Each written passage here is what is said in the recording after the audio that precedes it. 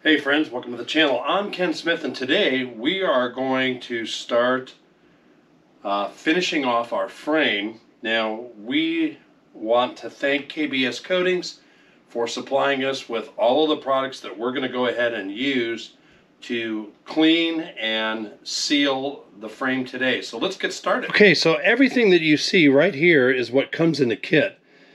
The KBS Clean is what is going to uh, remove any grease and some other contaminants that might be in this area. The KBS Blast is what's actually going to um, neutralize the rust that we currently have. And it's going to place a phosphate coating, which is going to, in a, in a sense, act as a like an etch. And then we'll use our rust seal. And that is kind of a nice self-leveling paint. I ch chose to get the satin versus the gloss. It comes in two flavors. I picked satin. Also comes with the spray bottle right here that you can use uh, for both the clean and the blast. And if you notice on top of the rust seal, you'll see a pair of rubber gloves and a disposable brush. So really everything that you need comes inside this wonderful kit right here. All right, so the first thing that you want to do before you use any of the the KBS Coatings products um, is you want to kind of get any of the loose rust that you might have and just kind of knock that off. Now, what I did, I did, I actually used a couple of different things. The first thing I did um, in any of the tight spots was I just used wire brush on my Ryobi uh, driver and then for some of the really accessible spots that had a lot of scale on them. Uh, I actually used uh, a sander with some really heavy grit sandpaper and just kind of went over those areas. For the more tougher to get spots, I used a couple of different things and I'll show you those here. Um, or maybe inside the frame, I used wire brush. For some of the tighter spots, smaller wire brush. And for some really heavy scale, I just used a small file and just kind of, you know, got in there and kind of worked around, kind of like around the running board supports and whatnot. And so this is kind of what I use to just kind of knock off a lot of the scale and whatnot. When I got done with that, I pressure washed it. Uh, and again, that just helps to eliminate some of the uh, some of the residue, some of the grease and whatnot that really allows this product to excel and do a great job in getting everything cleaned before uh, we begin to etch and so and seal and and so uh, the first thing that it says is to work in a well ventilated place obviously I'm in my garage it's kind of raining outside uh, just kind of a little bit of a drizzle and whatnot so what I'm going to do is just open up the garage doors. I'm working right to the edge of the garage door, so it should be pretty well ventilated. Um, and we're going to go ahead and start getting everything ready. All right, so with our garage doors open, we're going to go ahead and we're just going to start spraying this in. You really want um, a good liberal application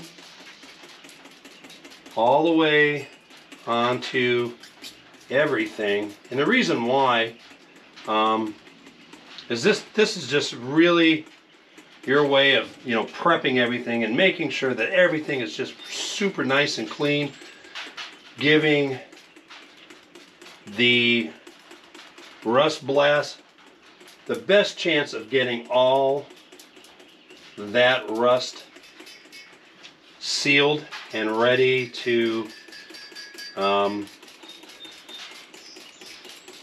get her get her painted.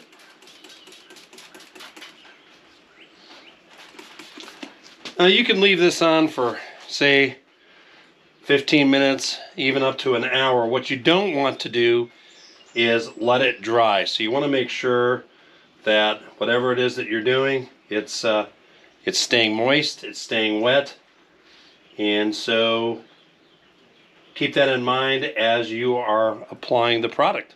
All right, we've let this sit for about an hour, so now we're going and actually just kind of washing things down, getting uh, getting the uh, the cleaner off. You can see, look at what a great job that's done. Just getting that extra bit of grease and yuck that I didn't get off from pressure washing. And again, just really, really impressed with the product and how it's worked. Now, the one thing I definitely do want to mention is that it's, again, a biodegradable, water-soluble product. So you, I don't have to worry about the environment. I don't have to worry about my dog or my neighbor's dogs if they get in the yard or wild birds or any other wild animals. I mean, I do live in the country here in East Tennessee. So want to be cognizant of, of that. But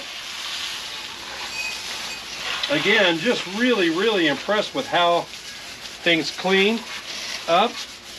When we get done here, we're going to go ahead, bring it inside, let it dry. And we're going to get on to the next phase.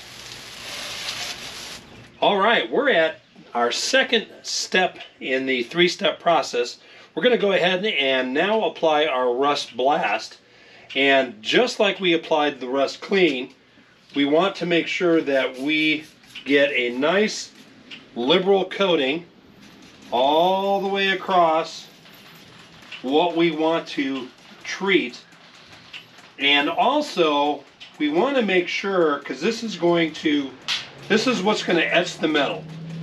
And we want to make sure that in this process, we don't allow this to dry, because this is going to create a, a phosphate coating, which is essentially similar to like an etching primer. This is going to etch the metal, and this is what's going to allow the final product, the final finish, to stick to the frame. So we're going to go ahead and get this all done, and we'll see you on the flip side. Now, if you're curious as to how well Rust Blast etches metal, just take a look at these aluminum trays, and you can see for yourself it has no problem etching anything really, uh, any form of metal, which is kind of interesting because like here, right here, this this is actually where no rust blast actually hit. um, or there might have been some grease there, I'm not really too sure. But uh, I also, after pulling it in, it's still wet, but you can see how it actually etched these bolts and the top shock. Um, so again, we're just going to let her completely dry overnight, take a good look at it, get up close and personal, and see what you think as well as what I think. Well, we've given it a good bath. We've allowed it to thoroughly dry, and as you can see, it has done a fabulous job just etching everything and prepping the surface for our final coat. And I'm, I'm really, really pleased with how this just came out. And again, you know, this is not the, uh, uh, this is not a point car restoration by any means. But we still want to do a really nice job at what we have to work with. And so we are getting ready now to apply our finish coat. With the Rust Seal, they provide disposable uh, gloves and a brush. And we're going to go ahead and use that. You just want to apply it. Don't worry about any brush strokes because it's self-leveling. And it is going to go on pretty, pretty smooth. It's not super, super thick. You can kind of see that right there.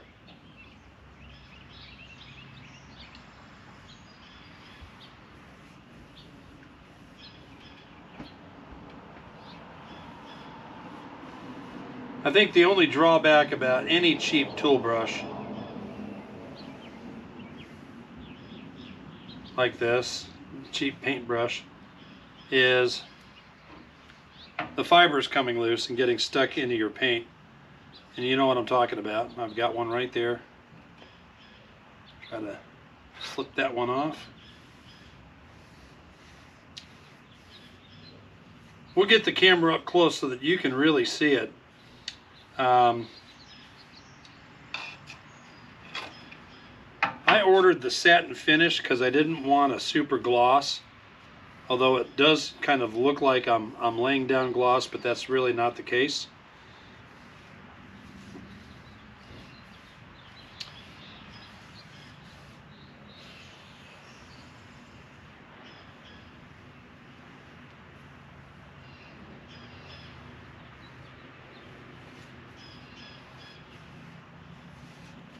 Very impressed with this. Go ahead and get the camera over so you can kind of take a look.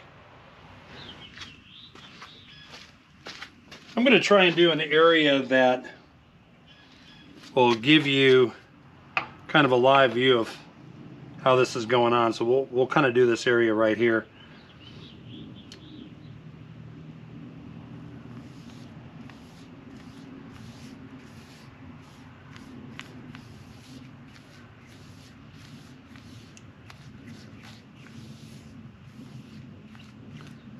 Supply is very easy.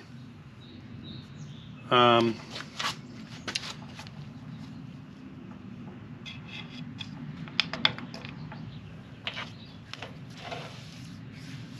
you definitely want to have something down for catching drips because this stuff's pretty permanent and so once it's down it's it's down it's stuck on whatever it is that you it has come in contact with. Now this area right here, I'm not going to paint over. And the reason being, we're actually going to weld uh, an extension on here because we're the goal is to actually put a um, a trailer hitch on. So I'm just going to kind of show you, remember I said you don't have to really worry too much about brush strokes. And again, my frame is not perfect. Uh, when you look at it, it um, from a cosmetic standpoint. But for a driver, it's in pretty decent shape. Get that, that hair out of there, fiber out of there.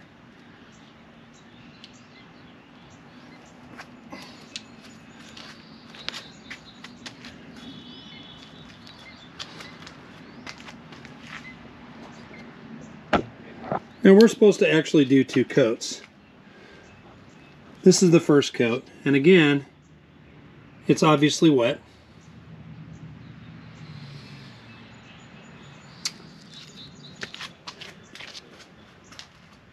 And I really, really like how this is kind of laid down. There's another one of those cheap hairs. I might end up switching a, to a brush, a better, better looking brush that I can just throw away. Yeah, not too fond about that. Little touch up there maybe.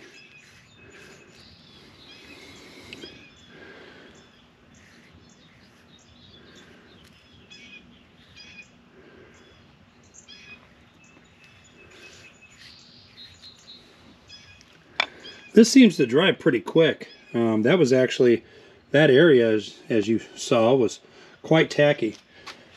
Now we're not going to film the whole whole process, but we're going to go ahead and continue working on it.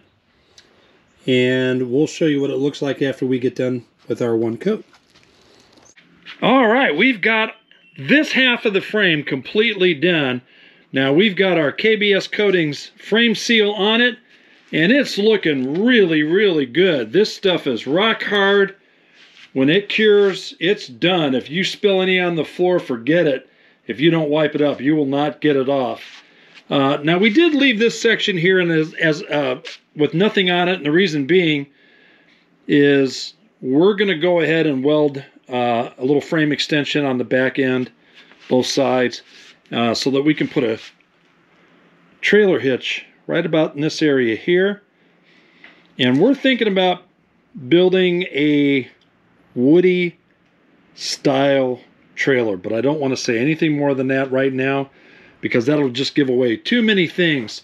But anyhow, that's what she's looking like.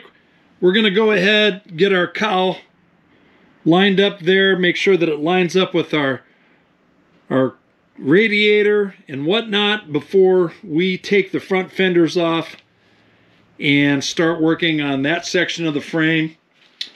So that's going to do it for this video. Hey, remember to give us a like and subscribe. That's important to us. But more than anything else, you guys, y'all be blessed.